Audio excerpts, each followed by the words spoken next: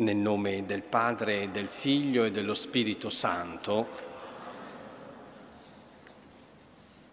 potete stare seduti.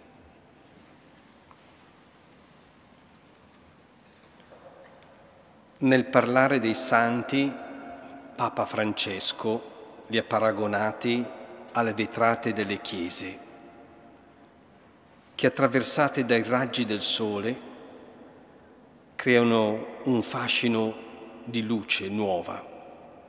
La sorgente di luce prende così corpo anche grazie ai colori della vetrata. Questa sera nel ripercorrere le tappe più significative della vita della nostra fondatrice Santa Paolo Elisabetta, che è stata sposa, madre, vedova e privata dei figli, ci lasciamo condurre da lei per scoprire come Dio, che è luce, ha attraversato la sua di vetrata, permettendo alla luce che prendesse forma e i colori della sua vita. Questa sera con noi è presente il dottor Felice Achilli, papà di Andrea, morto nel 2009 a soli 11 anni è qui per raccontare la sua esperienza di fede, di come si è lasciato attraversare da Gesù. Quella luce, più che risposte, gli ha suscitato una domanda. Lo rivedremo? C'è qualcuno che rende ragionevole sperare quello che il nostro cuore desidera di più? Questa domanda fragile e potente insieme è divenuta dimora e fattore di speranza per molti e ha introdotto la questione sulla verità di Cristo, sulla sua morte, ma soprattutto sulla sua resurrezione. La fede accende la luce e la speranza dell'eternità. Se venisse a mancare questa certezza, la vita diventerebbe un intreccio causale di eventi senza ragione e senza meta. Rimarrebbe solo una dignitosa rassegnazione dinanzi all'impoderabile. Al contrario, la fede dona la grazia di vivere la sofferenza senza perdere la pace del cuore.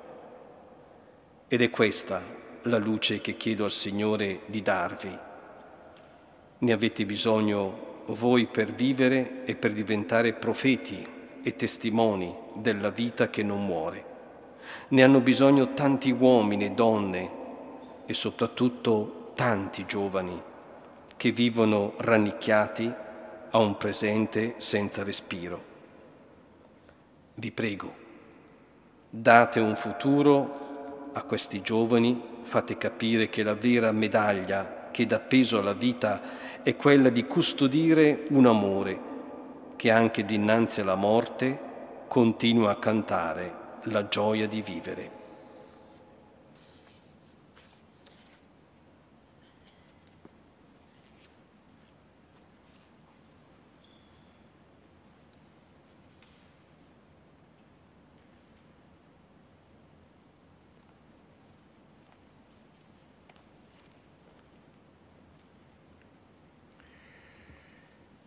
Prima tappa, maternità e morte del figlio Carlo.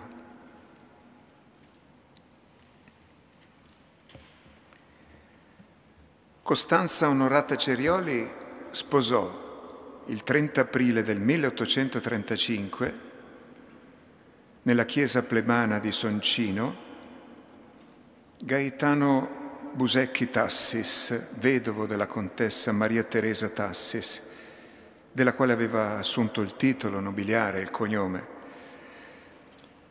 Questa unione coniugale fu allietata dalla nascita di quattro figli, dei quali però solo uno, Carlo, sopravvisse fino all'adolescenza. Monsignor Valsecchi, rettore del Collegio Sant'Alessandro di Bergamo, tracciava un bilancio molto lusinghiero su Carlo, dopo sei anni di permanenza nel suo istituto.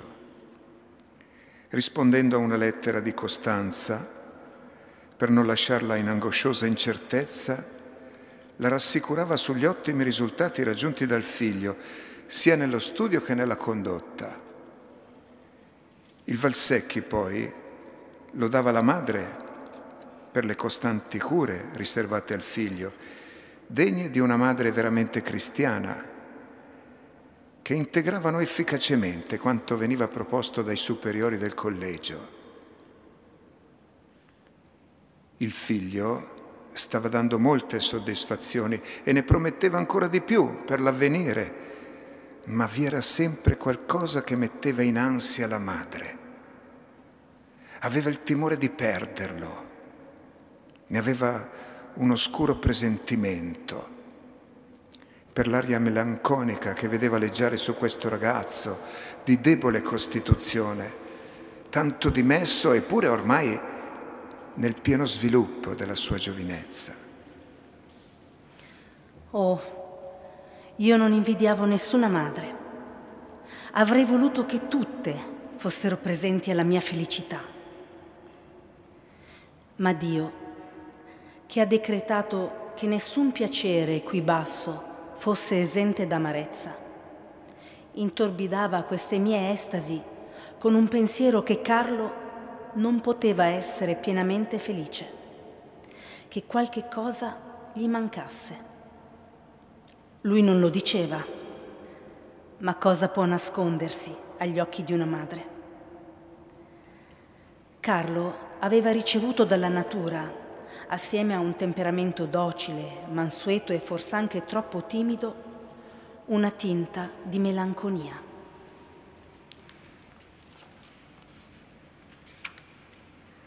E l'irreparabile purtroppo accadde. Fu colpito da una malattia molto diffusa nell'Ottocento, che non risparmiava nessuno, nemmeno i giovani, la tubercolosi. Nella lettera del 23 giugno 1852 Valsecchi accennava all'angosciosa incertezza di Costanza. Forse non riguardava solo la condotta, il profitto, ma anche la salute. Vediamo infatti che Carlo si trovava a casa già nel mese di luglio, prima delle vacanze autunnali, colpito da una tosse persistente, manifestatasi già in collegio il dottor Ercole Piccinelli gli aveva somministrato una cura con la quale sperava di guarire di ritornare in collegio per la festa di San Luigi. In realtà il miglioramento riscontrato fu solo temporaneo. Ben presto la malattia si sviluppò in tutta la sua virulenza, lasciando la madre letteralmente sconvolta. Per questo Costanza decise di dedicarsi completamente al figlio, assicurandogli tutte le cure mediche possibili e assistendolo quasi ininterrottamente al suo capezzale con prolungate veglie notturne.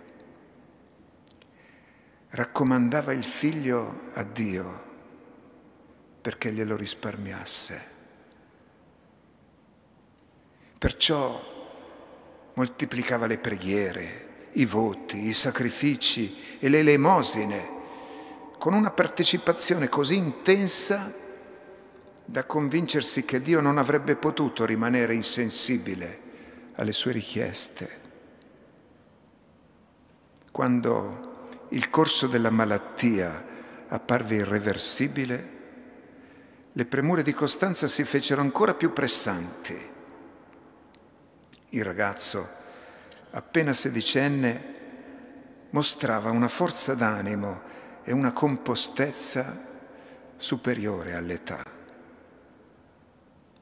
Non ebbe atti di impazienza, quantunque la malattia lo ponesse in un, profondo, in un profondo avvilimento. Finché era possibile cercava di nascondere la sofferenza per non accrescere il dolore della madre Nell'ultimo periodo le conversazioni si alzarono di livello, assumendo un tono decisamente religioso. riguardavano l'accettazione della volontà di Dio e il destino della vita eterna. Forti di una visione di fede, madre e figlio si consolavano a vicenda. Costanza, visto avvicinarsi il momento della morte, trovò il coraggio di invitare il figlio a ricevere gli ultimi sacramenti. Per nulla turbato, questi rispose accettando l'invito con indescrivibile dolcezza. L'ultimo saluto fu la promessa della madre di pregare per lui, augurandosi che Carlo avrebbe fatto altrettanto quando avrebbe raggiunto la meta desiderata del cielo. Il figlio ringraziò commosso, sapendo quanto fosse da lei amato. Il decesso avvenne il 16 gennaio 1854.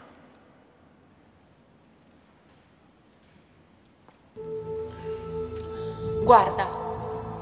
Che cielo stellato, è bellissimo.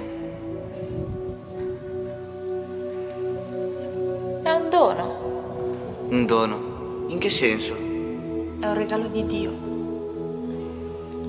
Chi potrebbe mai dipingere un cielo così? Hai ragione, mamma. È un regalo stupendo. Pensa, se è così bello da qua giù, chissà come sarà passeggiare fra le stelle quando saremo lassù in paradiso. Lassù, dove ci sono già i miei fratelli. Sì, il Signore li ha voluti con sé. Ma mi ha donato te, che sei la mia consolazione, la mia gioia. Carlino, non essere triste se a volte tuo padre... Ah no, mamma, io non sono triste. Anzi, mi spiace se l'ho fatto arrabbiare.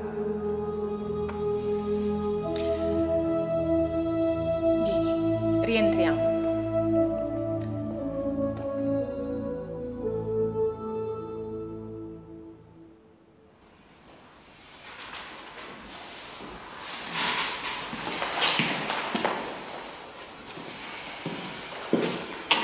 Mi raccomando, Carlino.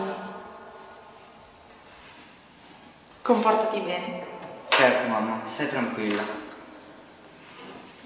Contessa, è tutto pronto. I bagagli sono già stati caricati. Grazie, Angela.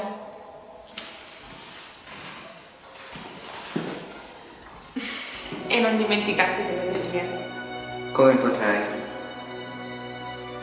Mamma, mi mancherai. Anche tu mi mancherai.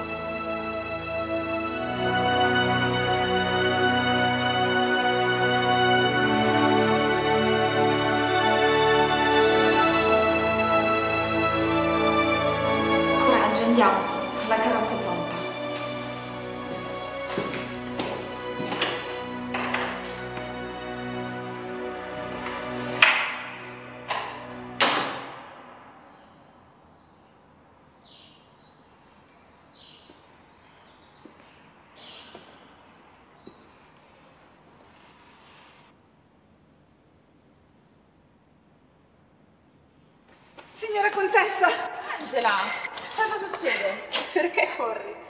arrivata, è arrivata questa lettera per lei. Grazie, Angela. Ma era necessario correre così? Mi è sembrato qualcosa di urgente. È Monsignor Valsecchi che scrive dal collegio. Oh santo cielo! Angela! Perdonatemi, signora Contessa, ma l'ultima volta che ha scritto Monsignore era per informarvi della malattia di, di Carlino. Sì, ma è stato un anno fa. Illustrissima Contessa Cerioli, il vostro Carlino è malato. Non vi turbate, il male non è poi così grave, ma potrebbe diventarlo. Io penso che qui in collegio non potrà trovare quelle cure che troverebbe in famiglia sotto gli occhi del padre. Ma le vostre cure amorevoli e sapienti. Lo sapevo, lo sapevo che era successo qualcosa di grave, me lo sentivo. E poi dice qualcos'altro. Angela, devo andare a riprenderlo. Fai preparare la carrozza, parto subito. Certo,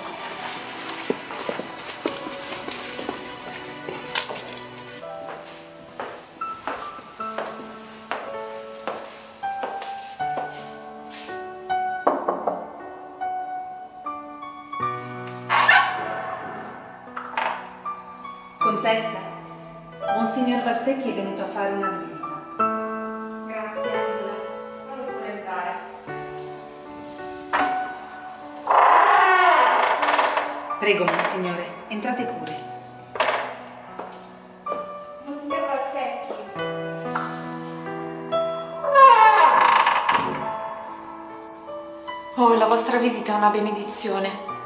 Contessa, come state? E come sta? Si è appena addormentato. È molto grave. Il dottore parla di tubercolosi e dice che non c'è più niente da fare. Ma io prego, ogni giorno chiedo al Signore che mi conceda questa grazia, che faccia guarire mio figlio. Io continuo a pregare. Il Signore, Contessa, non lascerà inascoltate le vostre preghiere. Anche noi in collegio preghiamo tutti per Lui. Le vostre parole mi sono di conforto, Monsignore. Ma come vorrei essere più forte. Contessa, il Signore vi darà la forza per sostenere questa croce.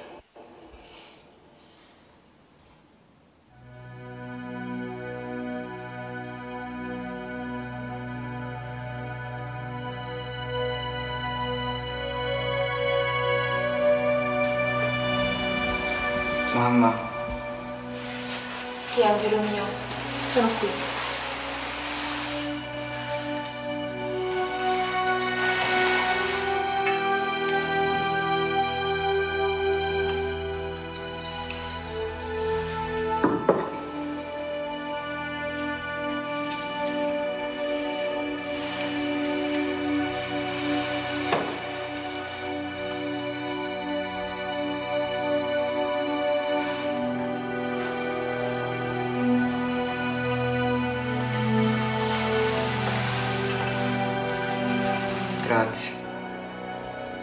Dispiace di non poter ricambiare di tutte le cure che hai avuto per me.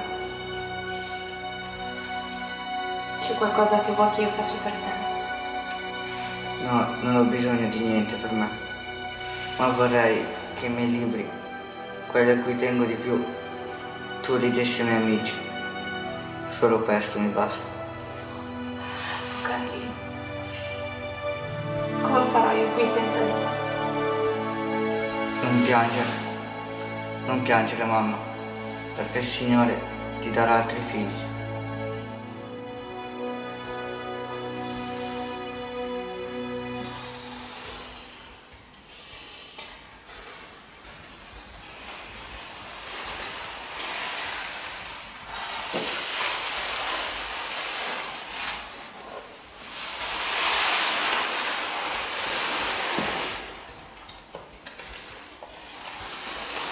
Carlino. Carlo.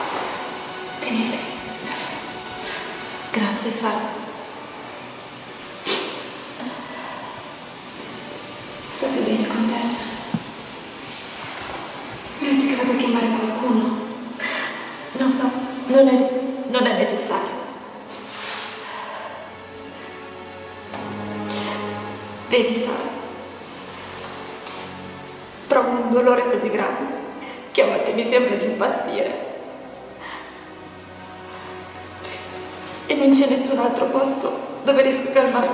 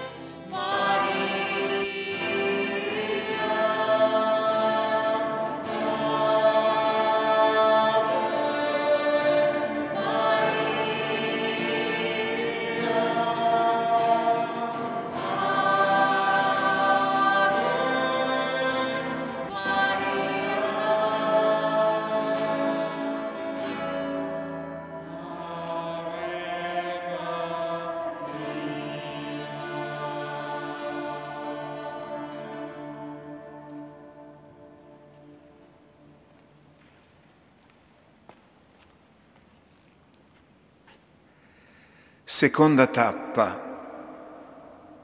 disorientamento e discernimento. La morte del figlio aveva prostrato Costanza a tal punto che le risultava penoso il solo permanere in casa. I ricordi, risvegliati dai luoghi e dagli oggetti appartenuti al figlio, nonché le persone che avevano tenuto un rapporto con lui, le provocavano una nostalgia tale da non riuscire più a trattenere le lacrime. Ce ne offre una viva descrizione una lettera della Cerioli al suo padre spirituale. Mio Dio, perché togliermelo? Perché darmi tanta consolazione per rendermi ancora più amara questa perdita? Ero la più felice delle madri. Ed ora, signor Rettore, dirò anch'io sull'esempio del mio Carlo pazienza. Dio mi ha dato una gran croce, ma lo pregherò sempre che mi faccia la grazia, almeno, di approfittarmene, onde ottenere un giorno il premio promesso a quelli che piangono.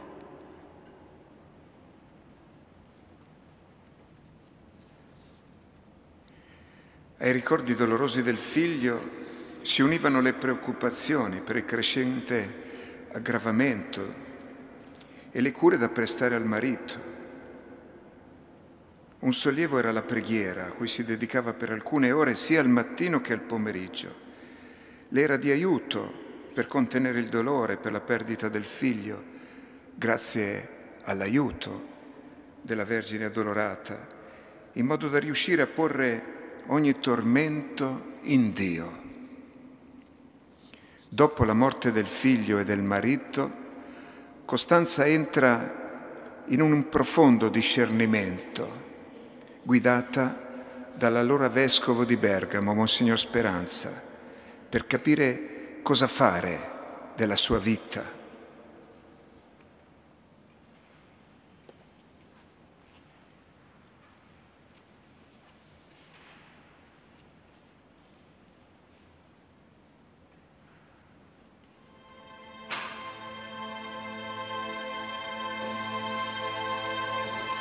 Contesse seriali. Vostra Eccellenza.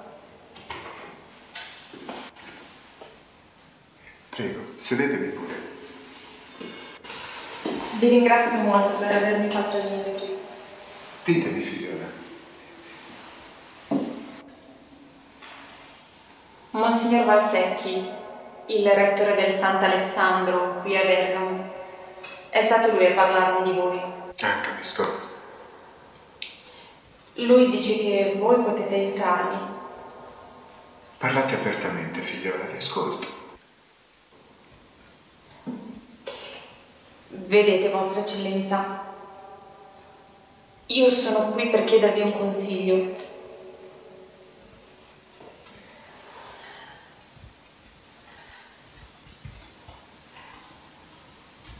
Ho perso mio figlio il mio Carlino. Lui era tutto per me. Era il dono più bello che il Signore potesse farmi.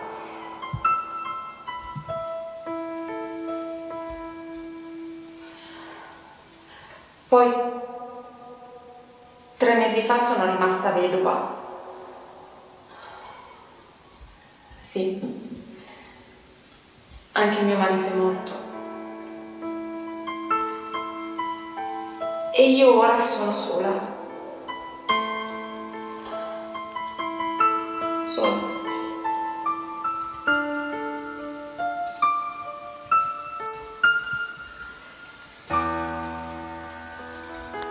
Prima di morire mio figlio mi ha detto, il Signore ti darà altri figli.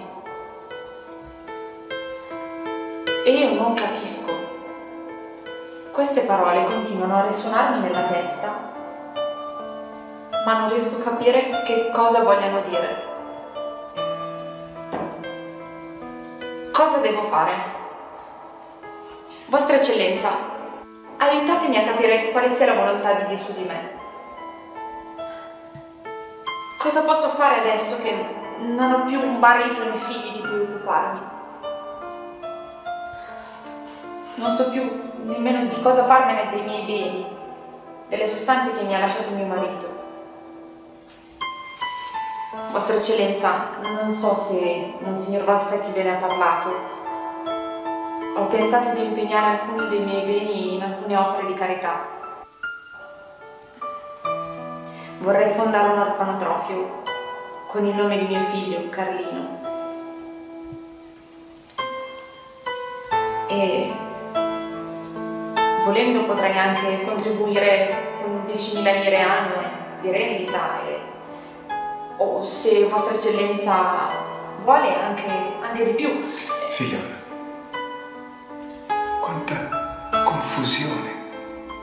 dentro di te. Figlia mia, sei ingarbugliata in una ragnatela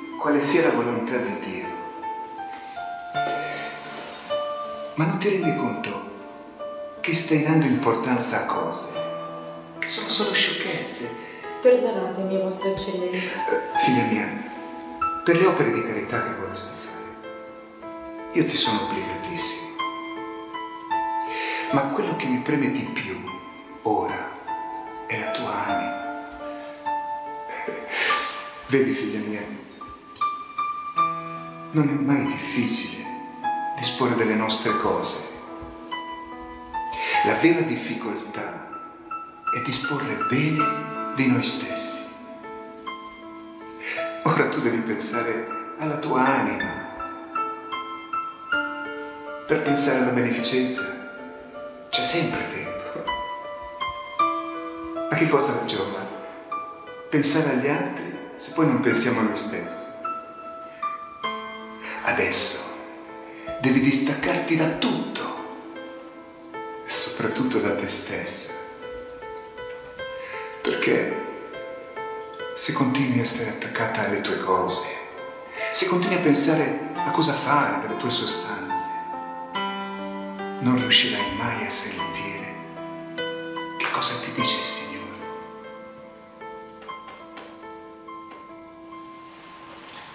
Bambine, aspettate.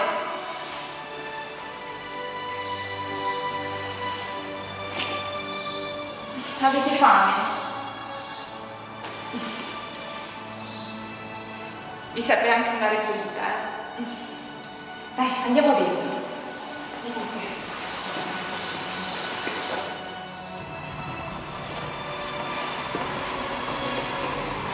Venite bambine. Signora contessa, state attenta, perché sono molto sporche, potreste prendervi qualche malattia. Angela, meglio malata di colera che di indifferenza. Io non ho più figli, ma rimango sempre una madre. E loro hanno bisogno di aiuto. Andiamo. Ah, Caterina, vieni a darmi una mano, per favore. Sì, certo, vengo subito.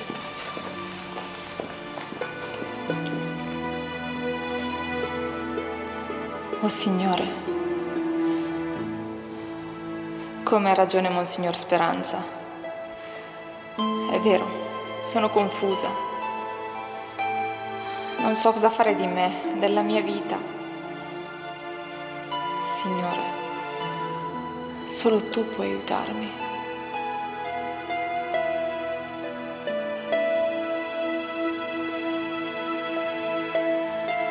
Signore, disfami, disfami e poi torna a rifarmi. Fammi come vuoi tu. Signore, dimmi cosa devo fare. Parlami. Sono qui, ti ascolto. Ti ascolto con tutta me stessa.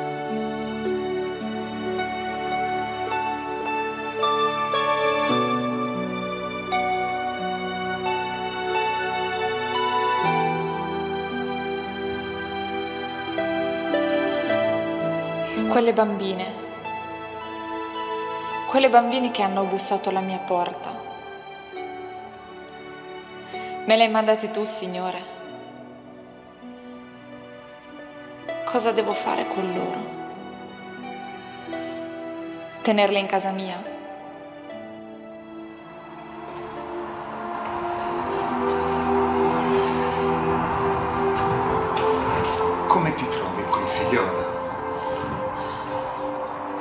Monsignore. Fin troppo bene, direi.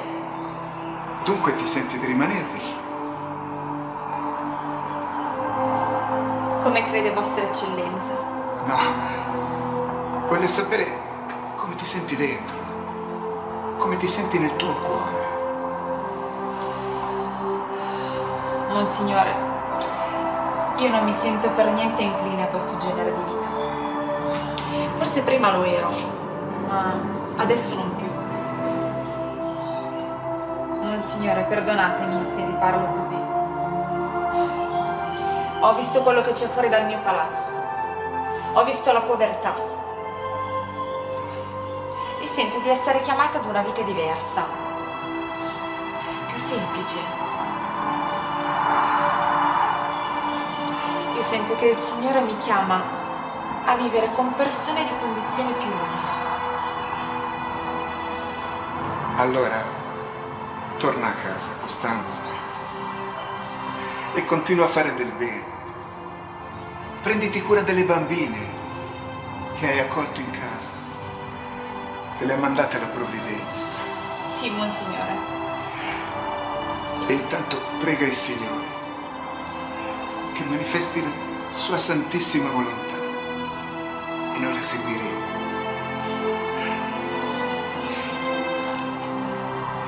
Chissà che non voglia che quelle orfanelle siano per te un nuovo inizio.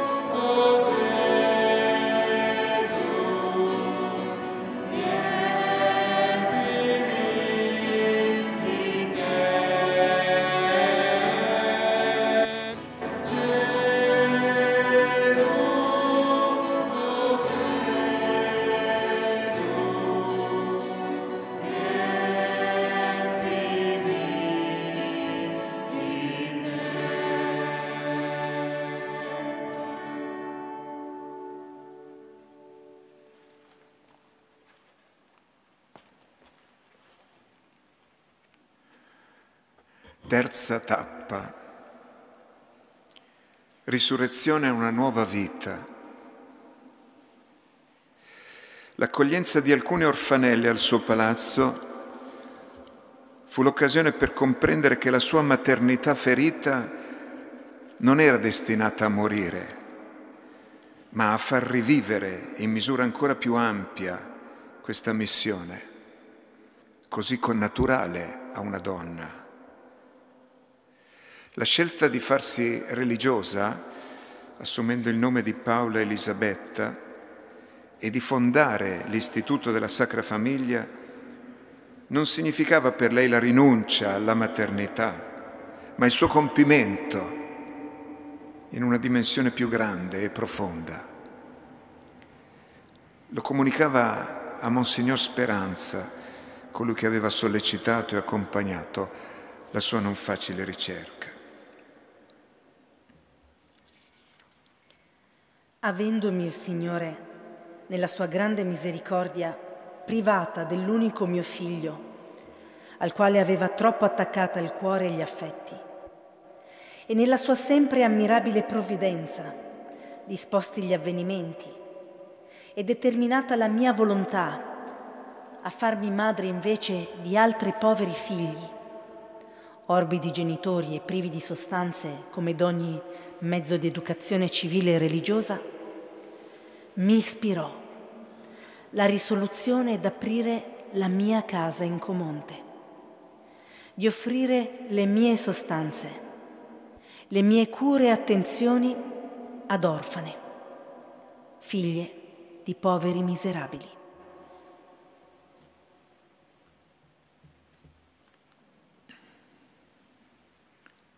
aveva avuto l'intuizione di dare inizio a un rinnovamento della società attraverso un'opera di rieducazione che era inscindibilmente promotrice di religione e di civiltà.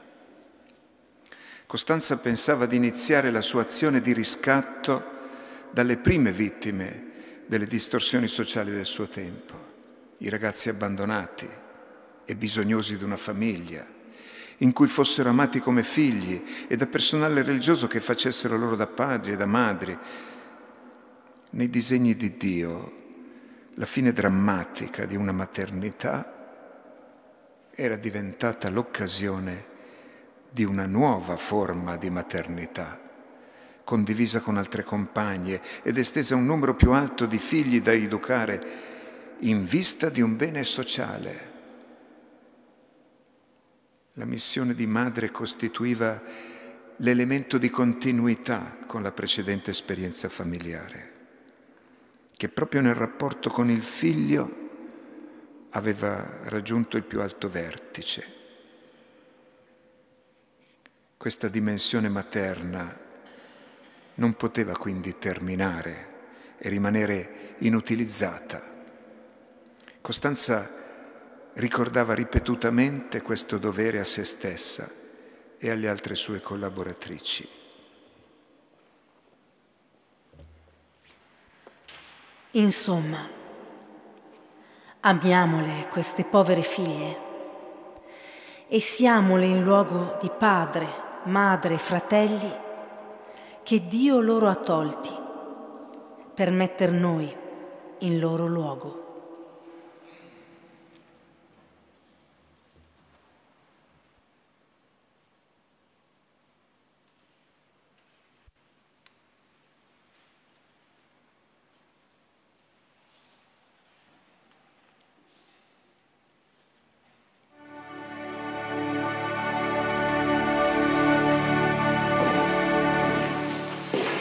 Aspettavo la tua lettera.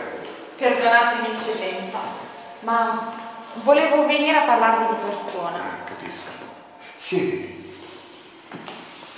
Stanno succedendo così tante cose e così in fretta. Forse un po' troppo in fretta. Troppo? Voi dite. Sai che cosa dicono di te qui a Bergamo? Di me? No, eccellenza, non lo so. Dicono che sei una Mattocchella.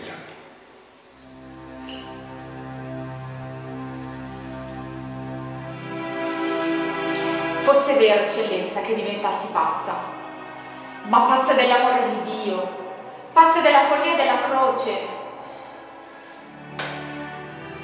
Perdonatemi, eccellenza, ma non farei mai niente di testa mia. Sono qui proprio perché desidero chiedervi un consiglio. Figliola, lo so bene. Ammiro questo tuo coraggio, Costanza. Stai facendo del gran bene con quelle bambine. E se il Signore te ne manderà altre, tu dovrai accoglierle. Perché sono un suo dono.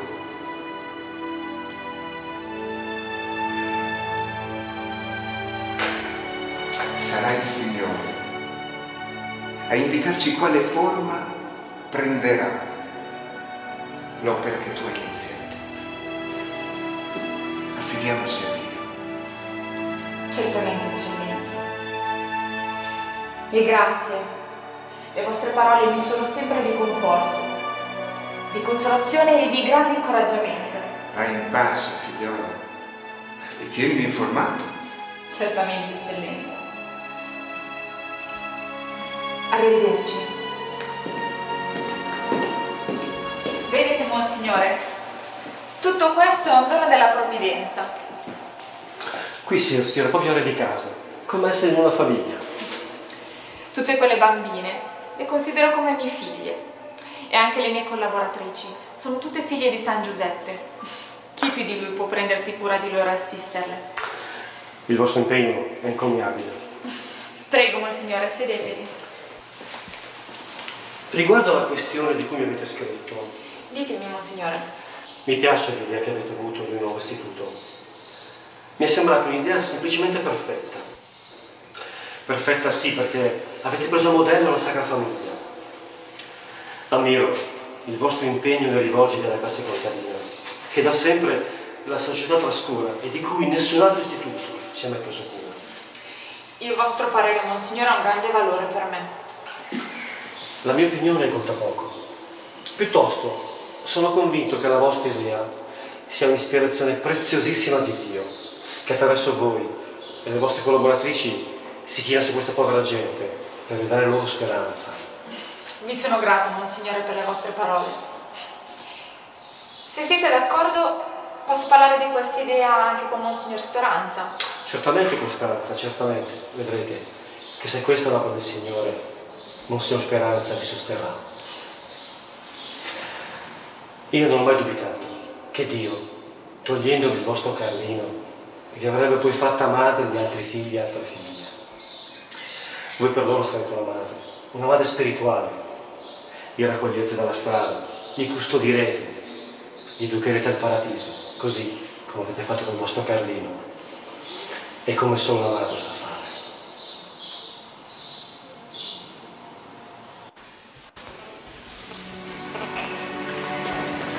Eccoci finalmente. Luigia, vieni. Monsignor Speranza ha benedetto questi abiti proprio ieri sera e da oggi il nostro istituto della Sacra Famiglia avrà una divisa. Una divisa, sì, perché questi abiti diventeranno la nostra divisa che contraddistingue e differenzia il nostro istituto da tutti gli altri.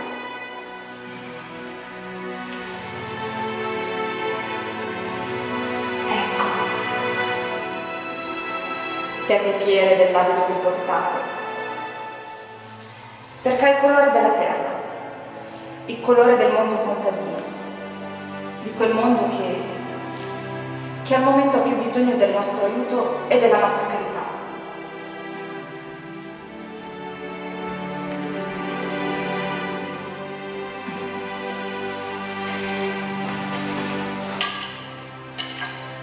Quest'abito non sia mai un segno di privilegio per voi, piuttosto diventi uno strumento di lavoro per continuare l'opera a cui il Signore ci ha chiamati. Per tutti quelli che entreranno da questa porta, noi saremo madri, madri dei poveri, degli orfani e degli abbandonati. Madri di tutti.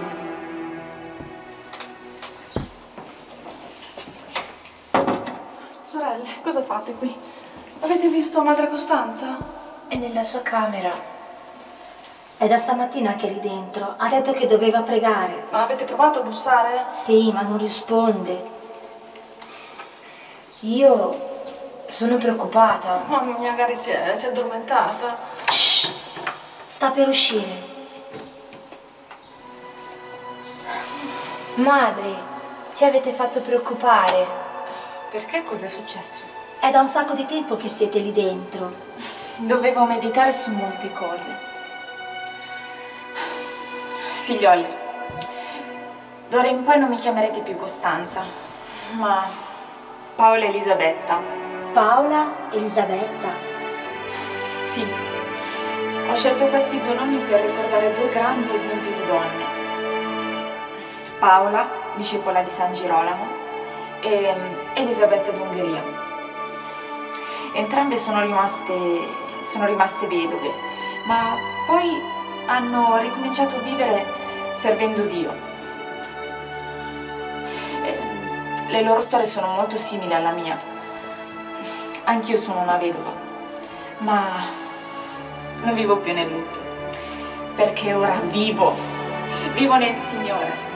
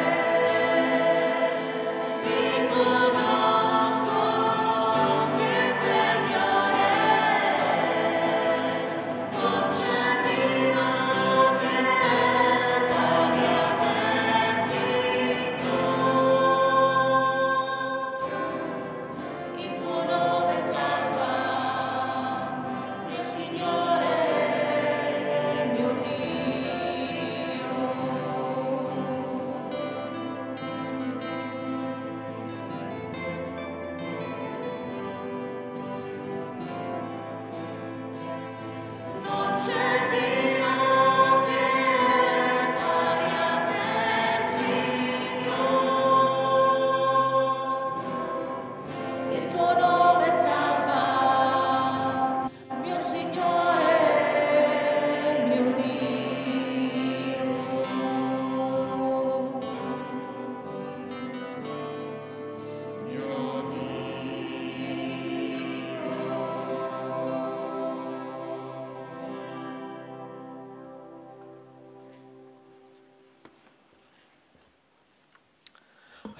adesso la testimonianza del dottor Felice Achilli. Prego.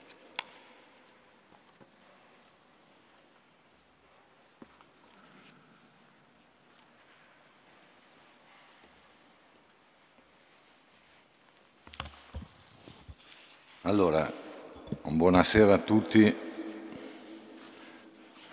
Padre Gianluca mi ha fregato, nel senso che dopo aver visto la storia di questa donna è difficile dire qualcosa di più, bisognerebbe non dire niente, però tant'è, eh, mi tocca, quindi allora il, nel, una giornata di normale lavoro del 2009, mentre ero in ospedale eh, a lavorare, io faccio il cardiologo, ricevo una telefonata che il mio ultimo figlio, il quarto, Andrea, ha avuto un incidente. E capisco dal tono della telefonata di chi mi ha chiamato e poi dopo aver sentito mia moglie che era già lì sul luogo dell'incidente, che diciamo c'erano poche speranze che l'Andrea riuscisse a cavarsela. E, mm, mi ricordo che eh, siccome lo portavano, lo stavano portando nell'ospedale da cui io invece mi stavo spostando, allora torno in ospedale per aspettare che arrivasse col 118 con l'elicottero. E mi ricordo che durante il viaggio, sperando che ci fosse qualcosa da fare, chiamai un mio amico che lavora in una terapia, una rianimazione pediatrica e gli dissi dell'incidente se c'era eventualmente la possibilità di mandare lì l'Andrea e gli dissi questa cosa che un po' abbiamo sentito anche e gli dissi Dio me l'ha dato tardi perché noi l'avevamo avuto il quarto a sei anni di distanza dall'ultima e quindi eravamo già insomma, sui 40 anni. Dio me l'ha dato tardi e me lo toglie così presto. Solo che questa diciamo, affermazione, che sembra un'affermazione, è veramente insopportabile perché Dio non toglie i figli ai genitori.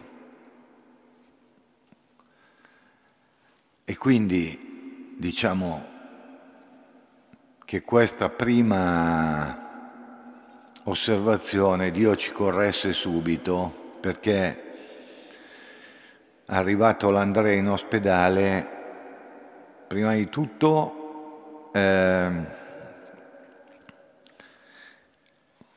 accadde che praticamente tutto l'ospedale sei ore dopo, più tantissime persone, venissero a dire il rosario per sto ragazzino e il cappellano, che era un vecchio prete, introducendo il rosario, disse che noi non preghiamo per l'eterna morte, ma per l'eterna felicità. E la seconda cosa che accadde è che un ragazzo che c'era lì si avvicinò e ci diede una lettera E questa lettera citava una lettera di San Luigi Gonzaga che San Luigi Gonzaga scrisse alla madre pochi giorni prima di morire. E appunto San Luigi Gonzaga disse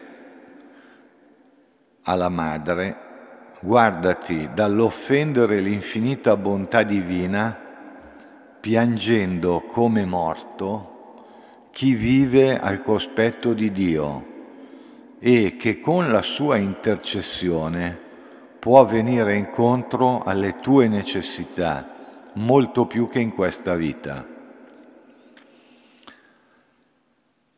La separazione non sarà lunga, ci rivedremo in cielo e insieme, uniti all'autore della nostra salvezza, godremo di gioie immortali, lodandolo con tutta l'anima. Adesso ovviamente le, le parole riflettono il tempo, ma ho detto queste cose solo per obbedire al mio ardente desiderio che tu, madre, tutta la famiglia, consideriate la mia partenza come un evento gioioso e tu continua ad assistermi con la tua materna benedizione, mentre sono in mare verso il porto di tutte le mie speranze. Ho preferito scriverti perché niente mi è rimasto con cui manifestarti in modo più chiaro l'amore e il rispetto che come figlio devo a mia madre. Ecco, voi provate a immaginare questa, questo fatto che accade a una persone normali in una famiglia semplice. È come se fossimo stati immediatamente richiamati a guardare le cose, a guardare quello che era successo non rispetto al riflesso che aveva su di noi, ma a domandarci veramente che cosa è successo a Andrea. E non c'erano che due possibilità. O appunto un passaggio, un compimento della sua vita, o il nulla, niente. Solo che come fa uno, un uomo moderno come siamo noi, cioè un uomo, un uomo, una donna, una mamma, un papà, come fa a dire di fronte alla morte del figlio che questo è il compimento della sua vita. Ecco, bisogna vedere qualche cosa. Noi abbiamo visto cose che non abbiamo mai visto. E che cosa abbiamo visto? Abbiamo visto in noi e io lo dico sempre che il miracolo più grande di Andrea è sua mamma, cioè è il cambiamento di mia moglie. Cioè noi abbiamo visto che appunto è possibile diciamo continuare a vivere perché è pos- per la certezza di rivederlo, ma è possibile avere la certezza di rivederlo perché abbiamo visto appunto fatti che hanno reso credibile questa speranza e quindi con questa speranza riuscire a vivere. E sono cominciate subito le cose strane, come diceva, non troppo in fretta, sono cominciate allora, la prima cosa che accade in modo sorprendente è che noi abbiamo scoperto attraverso cose successe nelle ore immediatamente seguenti l'incidente, quindi il funerale, così, che chi fosse veramente l'Andrea. L'Andrea era uno, rispetto ai miei tre primi figli, era avanti, ma anni luce, era più sveglio, più veloce, più intelligente. Per cui eh, poi non so, il, il, giorno in cui ho riportato Andrea mi ricordo che ho trovato davanti al cancello di casa mia il, lo stradino del paese, sapete quelli che puliscono, no? operatore ecologico, che è un uomo di 60 anni, un po' minus anche di quelli che vivono nei paesi, un po' così. E io lo vedo lì, pensavo ci fosse qualcosa da fare con il comune e invece mi dice, io scendo dalla macchina, lui mi dice, ma tu sai che figlio avevi? E io dico no, cioè, cosa vuol dire? Che, perché tu avevi rapporti con mio figlio di 11 anni? E appunto abbiamo cominciato a scoprire, per esempio, che lui stava, quando andava al bar a prendere il gelato, anche il mio è un paesino come questo, se lui trovava questo qui da solo, si metteva lì a chiacchierare. Oppure abbiamo scoperto che ogni giovedì, da un anno e mezzo, due, lui andava sistematicamente ad assistere nel pomeriggio il nostro parroco che aveva avuto un ictus e, che, e noi non sapevamo assolutamente nulla. Oppure l'amico che è arrivato musulmano il cui padre ha concesso ai figli di venire alla messa del funerale. E potrei andare avanti, però non c'è tanto tempo, quindi era solo per dirvi questo, cioè che per noi che non abbiamo, cioè che viviamo questo tempo, quello che, quello che, è successo ad Andrea e che ha, diciamo, ferito così tanto la nostra vita, di una ferita che non finirà mai fino a quando non lo ritroveremo, però quello che è successo, dopo quello che è successo, per poter credere veramente che questo incontro, che questo appunto riavvicinamento, che questo abbraccio avverrà, occorre avere visto una cosa, una cosa che, non, che, che, che non è una cosa umana, nel senso che non è nelle nostre capacità, e cioè il cambiamento degli uomini che è il più grande miracolo che si può vedere nel mondo, più ancora di gambe che si attaccano o di guarigioni miracolose. E quello che abbiamo visto è tanta gente cambiare, tanta gente legarsi. Mi ricordo appunto queste, perché quello che è successo poi è che la nostra casa, che era una casa di gente ferita, di gente so, ferita perché è diventata un, un, un posto dove la gente veniva e stava bene ed è andato avanti e tuttora è così, con modalità diverse. E dentro questi, questo fatto noi abbiamo veramente visto tanti miracoli di cambiamento. Mi ricordo una sera, c'era a cena a casa mia, dunque succedeva che a casa mia arrivavano tutti gli amici dei miei figli e si incontravano con persone che venivano lì. Una sera c'era Don Ciccio, di cui parlo nel libro, e c'era con me il capo della cardiochirurgia del più grosso ospedale di Milano, che era uno che non andava a messa, capo de, della sinistra, insomma tutto un personaggio così, ma una figura umanamente... E questo mi ricordo che venne, era legatissimo noi ancora adesso, a Santo Stefano abbiamo mangiato, venuto a casa mia a pranzo, e, e lui di fronte alla, al, al, fatto di Andrea non, non accettava l'idea, non, non accettava l'idea che appunto tutta la nostra posizione fosse determinata dalla domanda di che cos'era successo a lui. Mm?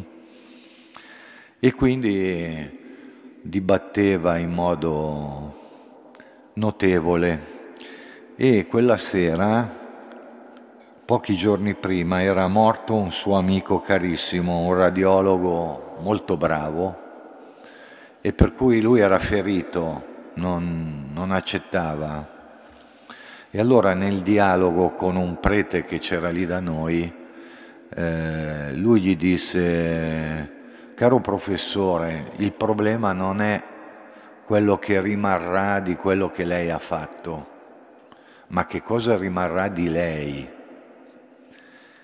E miracolosamente, cioè dopo questo diciamo, incontro abbastanza a cui noi assistavamo, cioè voi dovete immaginare una casa normale dove una volta, due alla settimana succedevano cose così, per cui si presentavano amici, ragazzi, e una settimana dopo questo qui è venuto, mi ha chiesto di chiedere a questo prete di esserci e si è confessato, comunicato, cosa che non succedeva. Oppure mi ricordo che un'amica di mio figlio, che faceva l'università con lui, aveva una sorella con una gravissima malattia un tumore cerebrale, 11 anni, anche no, 14 anni, e il padre e la madre non ce la facevano, non riuscivano a reggere. E io mi ricordo che la figlia aveva chiesto a mio figlio se potevamo andare a trovare. Per cui noi a luglio, un mese dopo dell'Andrea, ci siamo trovati a dover andare a trovare questa famiglia. E anche in questa in questo fatto a cui noi dicevamo solo di sì, cioè non, non è che avessimo tanti pensieri, abbiamo visto anche lì accadere qualche cosa che rendeva ragionevole la nostra speranza. Vi leggo, se riesco, quello che arrivo.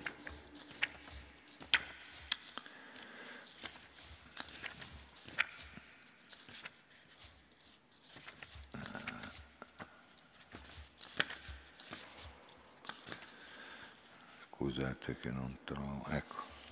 Allora, voi immaginate questa ragazzina di 14 anni molto schietta, molto, molto dura con lei e con quello che stava succedendo.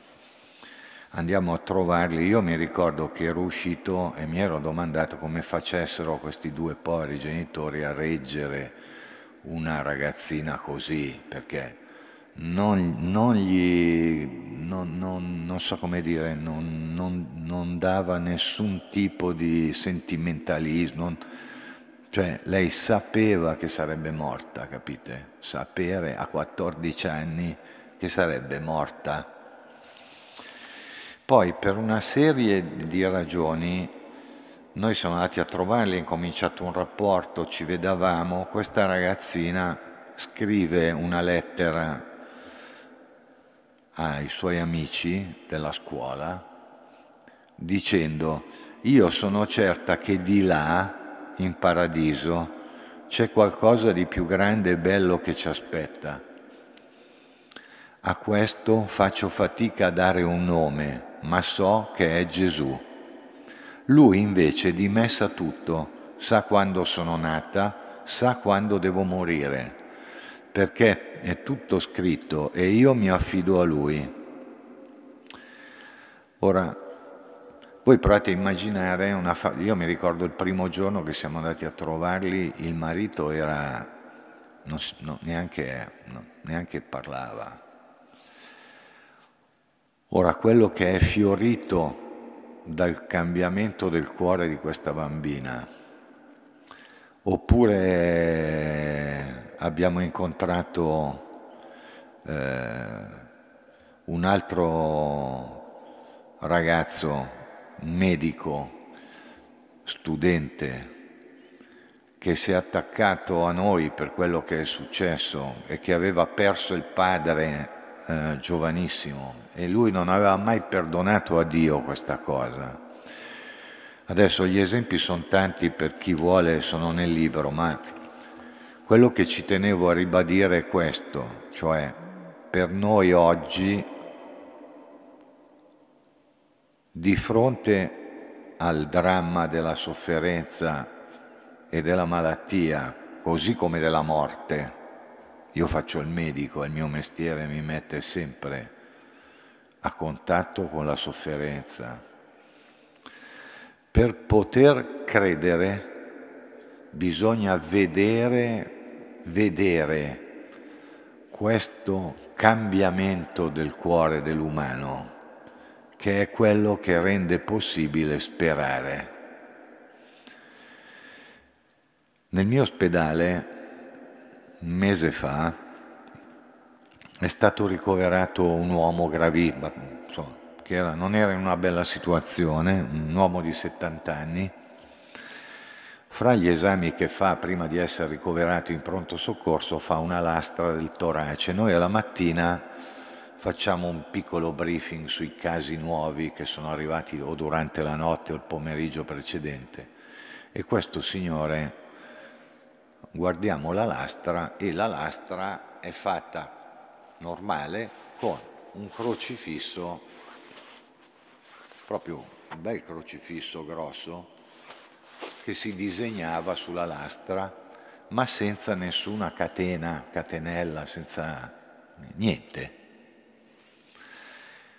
Allora, ognuno un po' imbarazzati, qualcuno ha anche pensato che avesse ingoiato la, la croce, ma era troppo grossa, non si poteva, no?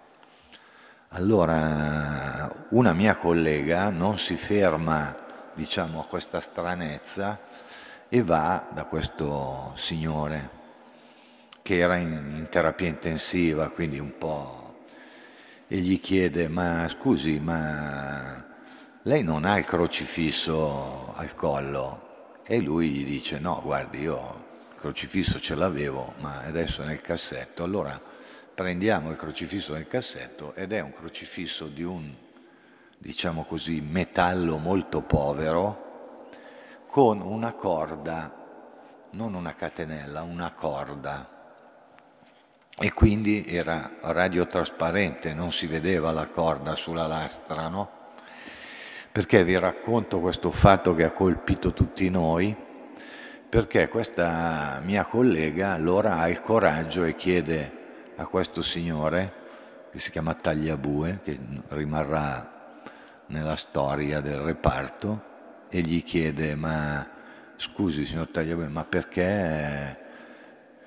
E lui racconta che da piccolo, da giovane, aveva appena cominciato a lavorare, faceva l'autista del camion, di camion, e aveva investito una ragazzina che è stata fra la vita e la morte per una ventina di giorni. E, e lui impazziva, cioè il pensiero di questa ragazza, non. allora da buon bergamasco va alla Madonna di Caravaggio e si affida totalmente alla Madonna di Caravaggio. La bambina non muore, la ragazzina si salva e allora ci racconta che lui da quel momento ha preso tutto quello che aveva di oro, quindi crocifisso d'oro, la fede, le catenine, eh, e le ha portate alla Madonna di Caravaggio. Perché dico questo? Ed è la terza cosa che vorrei, perché vi ho raccontato questo? Perché se è vero che almeno per me e la mia famiglia, sarebbe stato impossibile credere di poter rivedere l'Andrea se non avessimo visto in noi e in quelli che erano vicini a noi questo cambiamento che è il più grande miracolo che Dio fa nella vita, è vero anche che, senza, che, che noi viviamo in qualche modo immaginando di bastare a noi stessi e quindi di essere in grado di conoscerci veramente indipendentemente da Dio. Mentre se noi non avessimo visto quel crocifisso, non avremmo mai conosciuto il signor Tagliabue, la sua storia, la sua fede la sua famiglia e quindi non avremmo potuto fare veramente il nostro lavoro, che non è solo dare le medicine, no. Tant'è che il signor Tagliabue, grazie a questo crocifisso, è diventato, non so come dire, un po' la mascotte del reparto. Viene a trovarci e per tutti i miei colleghi, cristiani o no, è stato chiarissimo questo fatto, e cioè che per conoscere l'umano, cioè per conoscere gli altri, noi abbiamo bisogno di un'altra cosa, di un altro fattore che non facciamo noi, ma che attraverso il quale noi possiamo realmente conoscere chi siamo noi, di che cosa abbiamo bisogno e chi sono gli altri. Vi lascio perché l'ora è tarda e poi veramente, perché mia moglie mi dice sempre di leggere quando, dico, quando vengo invitato questa cosa, quindi è una cosa brevissima.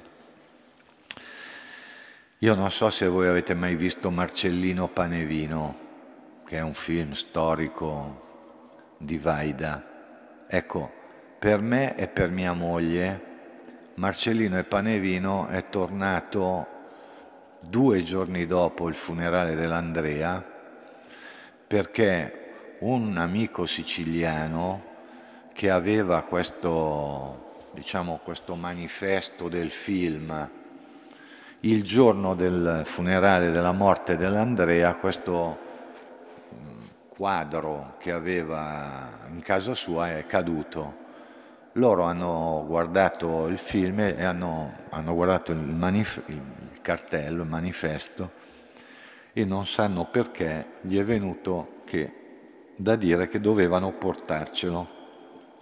Per cui ancora adesso se voi venite a casa mia c'è il manifesto di Marcellino Panevino. E nel dialogo, la, la storia la sapete, questo bambino orfano che viene tirato su dai frati, che un po' insomma aveva già un po' un'età intorno a quella dell'Andrea e che aveva bisogno di un... Allora ve lo leggo perché io non ho mai letto tenendo conto che è un film, quindi che qualcuno ha pensato questo dialogo, però eh, io non, non, non, riesco a... a non ho, ho trovato raramente una rappresentazione di qual è il rapporto di Dio con l'uomo. Voi sapete che lui andava sempre a portargli il pane e il vino, perché lo scopre nel solaio, fino a che i, i frati, che gli sparivano le cose, chiudono la dispensa e lui non può andare a portarglielo a Gesù in croce. Allora lui, diciamo, approfitta e ruba il, il pane e il vino che è già a tavola e riesce a tornare da Gesù. E allora gli chiede, non sei arrabbiato che non sono venuto ieri? Gesù gli risponde, no, il tuo cuore era qui con me, io ti vedo sempre e so perché non sei venuto, ma tu pensi a me come pensi alla tua mamma. Anche la mia mamma mi vede sempre, gli chiede Marcellino, sì, sempre, gli dice, gli dice Gesù. A che pensi, Marcellino? Dove sarà la mamma tua adesso? Con la tua, gli risponde Gesù. Come sono le mamme che fanno? E Gesù gli dice, danno, danno sempre. pensate alla storia, e che danno tutto se stesse, la vita e la luce degli occhi ai figli, finché diventano vecchie curve. Allora Marcellino gli dice, anche brutte? E Gesù gli risponde, brutte no Marcellino, le mamme non diventano mai brutte. Tu vuoi molto bene alla tua mamma, gli chiede Marcellino, con tutto il cuore, io alla mia di più. E allora Dio, Gesù, gli dice, bravo Marcellino, sei un bambino buono e io ti voglio dare in premio quello che più desideri al mondo. Vuoi essere frate come fra Bernardo, che era o come fra Pappina, o come il padre superiore, oppure vuoi che Manuel, che era il suo amico immaginario, venga a giocare con te?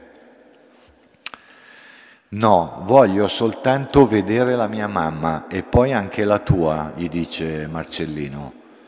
E vuoi vederle adesso? Cosa volete che dica un bambino? Certo, le vuol vedere adesso. E allora Gesù gli dice dovrai dormire. E Marcellino risponde io non ho sonno, ti addormenterò io. E il film finisce con Marcellino che muore fra le braccia di Gesù che è sceso dalla croce. Ora, lo dico perché per, per, per noi, per, per noi questa, quello che è successo all'Andrea è stato veramente il, il non so come dire, come un, uno spartiacque, come un, una, un nuovo, insomma diciamo che la ferita dell'Andrea è ancora oggi viva ovviamente, ma ha introdotto appunto una dinamica, una, una posizione nei confronti della nostra vita e quindi del rapporto fra la nostra vita e il mistero di Dio che ha questa caratteristica, cioè di un Dio che compie la vita, la vita dell'uomo e che quindi di un Dio che non toglie i figli ai genitori.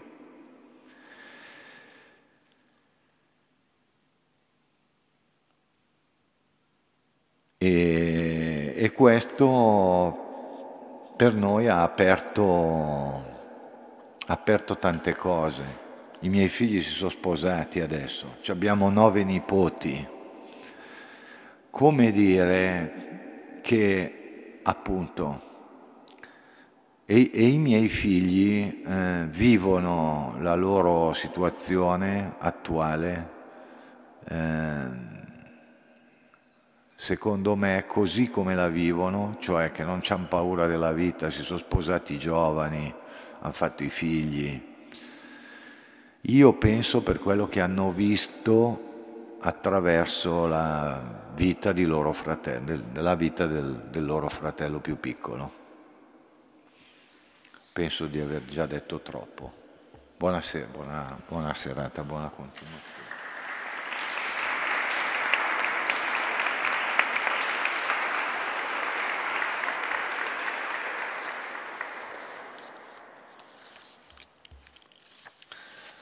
Ringrazio ancora il dottor Felice per la sua testimonianza e per aver accolto l'invito di essere qui stasera con noi in questa veglia di preghiera. E ricordo che la sua testimonianza è stata raccolta in un testo, chi lo desidera, il testo si chiama L'infradito di blu, lo potete trovare in fondo alla chiesa, insieme anche ai DVD delle scene di eh, Madre per sempre che sono state proiettate questa sera. Siamo giunti alla conclusione di questa veglia di preghiera e prima della benedizione vorrei ringraziare tutti coloro che hanno curato questa veglia di preghiera, chi ha selezionato i testi meditativi della vita di Santa Paola Elisabetta e ha dato una vesta grafica a padre Fabio e a Federico, a chi ha curato i video riproponendoci alcune scene tratte dal DVD, Stefano e Sara. Grazie a chi ha dato voce narrante alle meditazioni, Fabio e Angela. E al coro dei giovani, servi apostoli di Maria, che ci hanno aiutato a pregare anche con la musica e il canto. E grazie a voi anche che avete accolto questo invito e siete qui con noi a pregare insieme a Santa Paola Elisabetta Cerioli. Ci mettiamo in piedi per l'orazione finale. O Dio, che hai voluto che il tuo figlio nascesse in una famiglia umana, concedi benigno a noi, confortati dall'esempio di Santa Paola Elisabetta, di conformare la nostra vita familiare al modello della Santa Famiglia e di renderla luogo della tua provvidenziale rivelazione per il bene soprattutto dei più piccoli senza avvenire. Per il nostro Signore Gesù Cristo, tuo Figlio che Dio vive e regna con te nell'unità dello Spirito Santo per tutti i secoli dei secoli. Amen. Il Signore sia con voi. Vi benedica Dio Onnipotente Padre, Figlio e Spirito Santo andate in pace. Grazie a Dio. Buona serata a tutti.